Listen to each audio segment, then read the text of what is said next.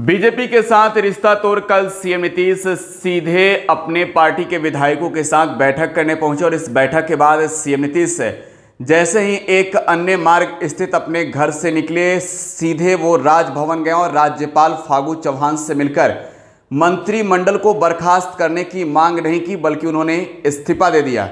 ऐसे में अब जो बीजेपी, जेडीयू सहित तमाम दलों के मंत्री थे, उनका मंत्री पद छिन गया है। आज सुबह से ही मंत्रियों के घर के बाहर पोस्टर चिपकाए जाने लगे हैं। जो उप मुख्यमंत्री थे, उनके घर के बाहर पूर्व उप मुख्यमंत्री जो किसी विभाग के मंत्री थे, उनके घर के बाहर जिस विभाग के वो मंत्री थे, उस विभाग के नाम के साथ पूर्व मंत्री लिखा जा रहा है। लेकिन इन सबके बीच राजभवन की ओर से अधिसूचना भी जारी कर दी गई है। जो मंत्रिमंडल है, वो खत्म हो चुका है। देखिए आपको दिखा रहे हैं। राजभवन की ओर से अधिसूचना जारी की गई है। कुल उनतीस नाम है।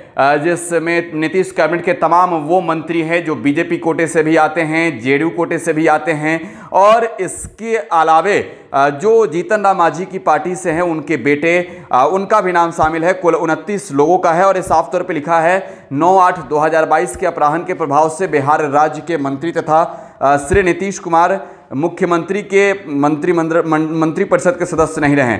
तो ये साफ़ हो गया है कि सीएम नीतीश के जो मंत्रिमंडल में है, वो अब ये लोग नहीं हैं और ये पत्र राजभवन की ओर से जारी किया गया है। अमित सुबहानी जो मुख्य सचिव हैं, राज्यपाल के आदेश से वो इस पत्र को जारी कर चुके हैं और सीएम नीतीश के वो खास अधिकारी भी माने जाते हैं। लेकिन देखिए, तारकिशोर प्रसाद जो कि बिहार के उप मुख्यमंत्री थे, अब वो उप मुख्यमंत्री नहीं रहे उनके घर के बाहर तो अब वो पोस्टर भी चिपकाए जा चुके हैं जिस पे लिखा गया है, पूर्व उप मुख्यमंत्री रेणु देवी, जो कि बिहार की उप मुख्यमंत्री थी बीजेपी कोटे से विजय कुमार चौधरी, शिक्षा मंत्री थे जेडीयू कोटे से विजेंद्र यादव, जेडीयू कोटे से अशोक चौधरी, जेडीयू कोटे के थे शीला कुमारी ये भी जेडीयू कोटे, संतोष कुमार सुमन जो है, वो जीतन मांझी के बेटे हैं और वो हिंदुस्तानी अवाम मोर्चा के ओर से थे।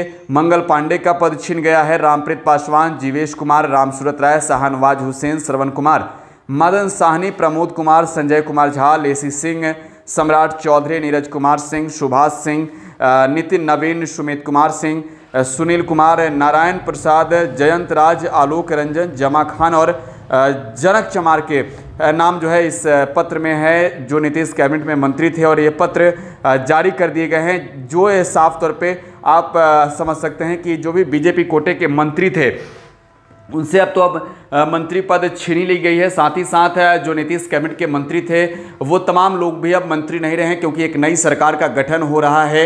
आज जब सीएम नीतीश आज शपथ लेंगे राजभवन में, उनके साथ साथ तेजस्वी यादव शपथ लेंगे उप मुख्यमंत्री के रूप में। और आठवीं बार मौका होगा जब नीतीश कुमार आज मुख्यमंत्री के रूप में शपथ लेंगे और तेजस्वी दूसरी बार उप मुख्यमंत्री के रूप में शपथ लेंगे।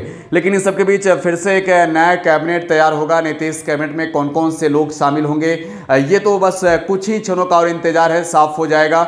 लेकिन बीजेपी कोटे, जेडीयू कोटे, हिंदुस्तानी अवाम मोर्चा कोटे से और साथ ही साथ एक जो इंडिपेंडेंट थे, निर्दलीय थे सुमित सिंह, उनका भी मंत्री पद जा चुका है। इसकी पत्र जारी कर दी गई है, अधिसूचना जारी कर दी गई है।